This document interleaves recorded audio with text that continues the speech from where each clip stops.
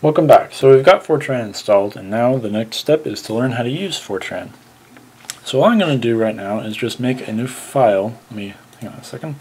Let's navigate to this folder. Okay. Uh, so we're going to create a new file. This is how I create a new file. You can do it however you want. Uh, in fact, it's probably not how you make your files, but uh, just like open up a text editor and create a new file and then save it as uh, whatever you want. I'm going to name mine uh, tutorial1 dot f08.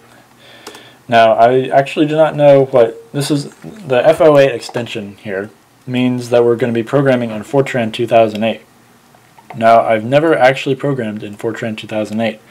I learned Fortran 95. Uh, so uh, I may actually get some things wrong, but I'm going to teach you to the best of my abilities because I don't think that Fortran has changed too, too much between Fortran 95 and Fortran 2008, believe it or not. So anyways, we're just going to open up this. Uh, I'm using your text editor. Mine happens to be this one called Vim.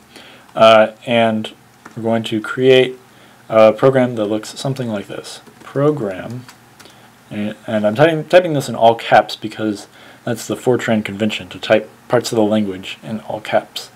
Uh, program, and then the name of our program, which I'm just going to call hello program.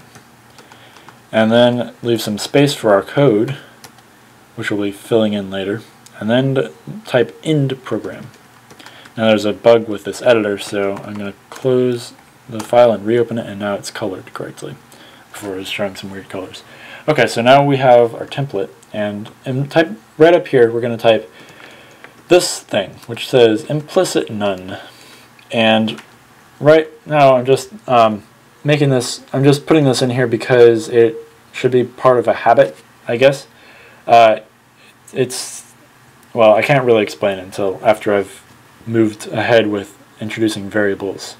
Um, so let's just leave it here, you know, for habit's sake, because you want to make, turn typing this into a habit, or just create a template for yourself that includes that.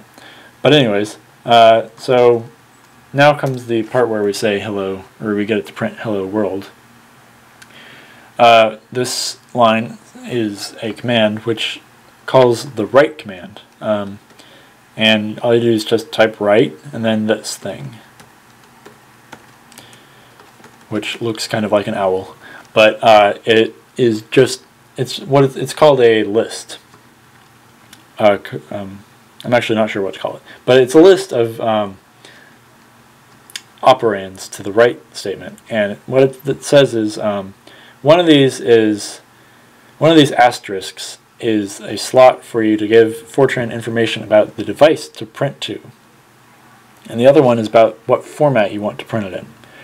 Uh, and by device, I just mean like, you know, if you were using the write statement to send text to a printer, like a physical, you know, inkjet printer, then you would use that. You would use, I mean, you'd put something else here. Uh, or if you wanted to write your text to a file, or maybe to another computer, or to a server or something, then you would enter something special here. Uh, as for right now, we're just going to be typing an asterisk because that means the default, which is uh, you know, standard output, which is our console window. So it's going to be printing to our console window. And then the next uh, operand is the format. Now actually I might have these two mixed up. It might be that the first star is the format and the second one is the device. Sorry, I don't know for sure. But one of them is the device and one of them is the print or the um, format. So the format just means like if you're printing a number, then you can have it formatted with a special number of digits or uh, certain alignment or something like that. But for text, we're just going to use the default, which I really don't know what the default is. It's probably just print whatever we typed. Uh, so we're just going to type hello world. Actually, I do know, but we'll see in a couple seconds. So we've typed hello world in quotes, and the quotes are important. I think it might be important that, okay, maybe not. Uh, you might be able to use single quotes as well, but I'm going to use double quotes and we're just going to save it and uh, close it, which I've just done. Uh, and now we're going to type gfortran and then the name of our file and then a dash O and then something like um, executable.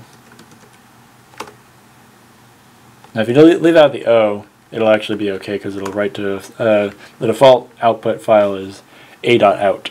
So now looking here, we see there are two files, one called executable and one called a.out, as you can see here as well. The, they're just both the same thing. I was just showing you that you can specify a custom name to save it as, or you can just leave out the dash o executable and it'll save it to a.out.